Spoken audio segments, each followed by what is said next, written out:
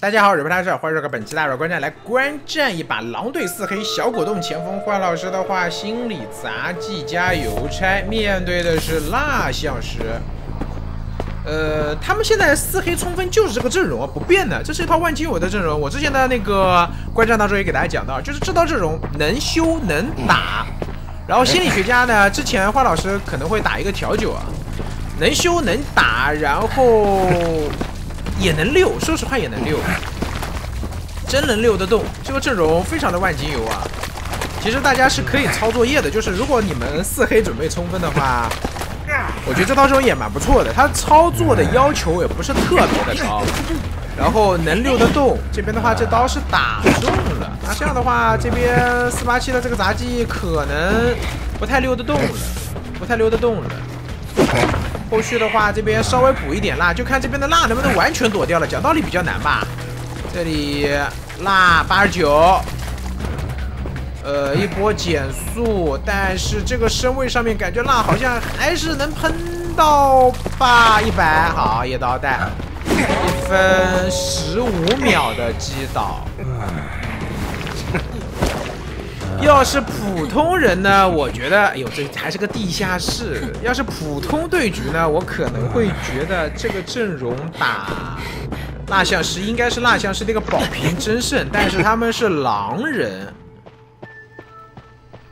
狼人他也是人呐，他不是狼神呐。撞，这波球撞的真的很快，很帅，我甚至都看不见。呃，这里的话先救一波出去再说啊。这里前锋的话打一刀前锋，那这样的话前锋会不会吃双倒？因为这边身上有九十多的蜡。再拉球，呃，这里的话丢个蜡块补上。杂技的话，这边是倒二楼，但前锋这边的球不够啊，前锋这边的球不够，这边吃一波移情，然后前锋再来打一波架，也不是说不能打，也不是说不能打，这里但是打一波我觉得意义不大，因为这边前锋吃完移情，说实话他这个过来撞的一个时机点就最好的黄金时机点就已经错过了，而且呢，你真的去撞一个蜡像师。即便是你满血，拉在这边你撞到他，他如果有机会打你的，他到二阶求者这边的话也不太好说，这个前锋也可能会倒。这边而且还封了一手密码机，那对于求者来讲应该是保不活这边的杂技了吧？这个想要保活杂技，我感觉挺难的。算一下机子，算一下机子。现在的话，求者外围的两台机子都是超过百分之五十的，这边人挂飞以后应该选择直接传送了。好的。传送落地，这边是邮差。邮差的话，这边面对一个差一刀到二阶的蜡像师，我们看他能不能溜得起来。有飞轮，飞轮呢？这个东西是这样子，你打蜡像师，你要用飞轮来顶着他那一下蜡，我觉得有点有点太过于困难了，有点太过于困难了，是挺难的一件事情。那不像是鲍鱼就。顶那个鱼女的水汽啊，相对来讲这个还是可控的。这个蜡你不可控啊，你不太不太能够确定呢。这个蜡什么时候刚好点满？这边的话起热啦，来我们镜头给到，就看飞轮了，就看飞轮了，有没有飞轮？没有。操作呢，我们是见过的，但是这种操作呢，一般来说可能打个十把也就出现一把。前锋压着机子还是差的比较多的啊，这个机子的话现在还差一台半。嗯，看能不能排到前锋的位置吧。排到前锋的位置，我觉得大致就拿下了。排不到呢，可能还有一定的说法。但是即便是打成一个三人开门战，蜡像师这边手里面大概率是会有一手传送的。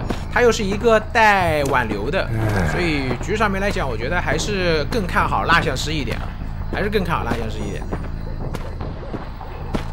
主要还是前期那一刀，这边的话再丢一个蜡块封密码机，但好像没有封住，是没封到吧？好像封到了，要不然的话这边也不会走。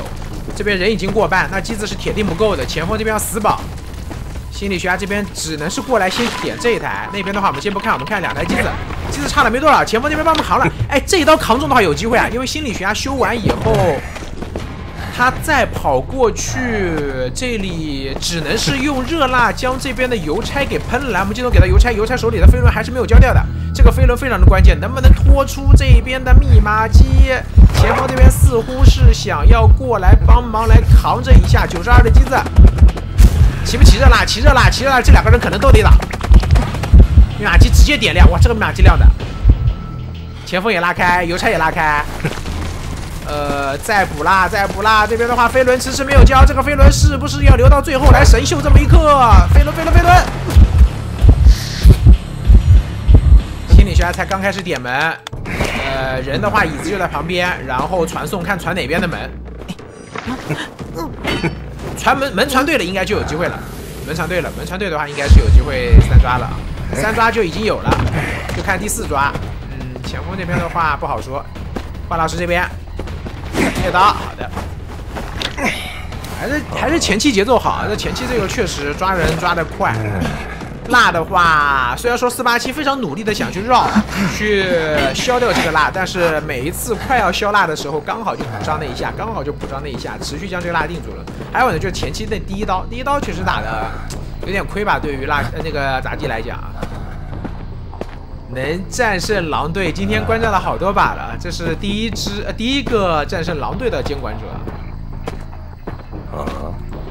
前锋这边想偷偷的绕过来，这应该是跳个地窖吧？应该跳个地窖吧？这个不可能去救人的，救人就算这边挽留结束了，我觉得也救不下来，救得下来也走不了，那何必呢？